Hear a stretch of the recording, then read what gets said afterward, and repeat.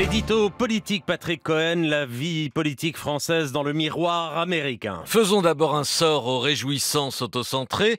Éric Ciotti est le plus bruyant, il célèbre la fin du wokisme et se rêve ouvertement en Trump français, un peu comme Bruno Maigret se rêvait en Jean-Marie Le Pen. Éric Zemmour se réjouit qu'en politique on n'est jamais mort, en espérant ne pas être complètement enterré.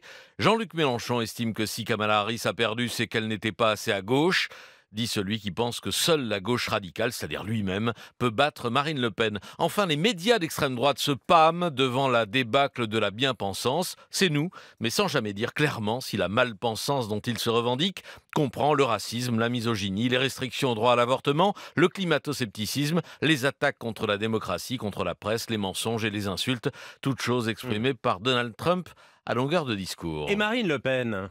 Sobriété absolue, loin des soutiens de 2016 et 2020.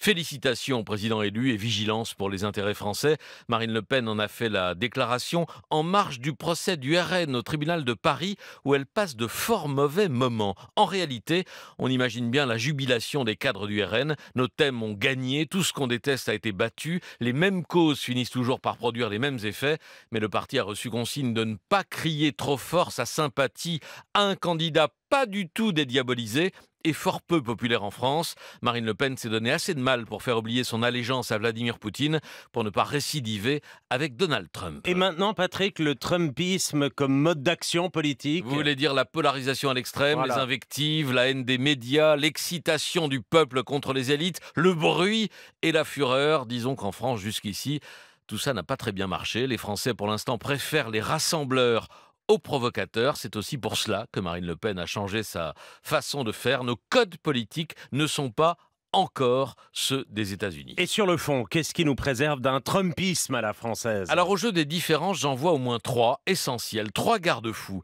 Le premier, c'est le Conseil constitutionnel, garant de nos principes démocratiques de façon bien plus solide qu'une constitution américaine désuète, réinterprétée à sa guise par une Cour suprême trumpisée.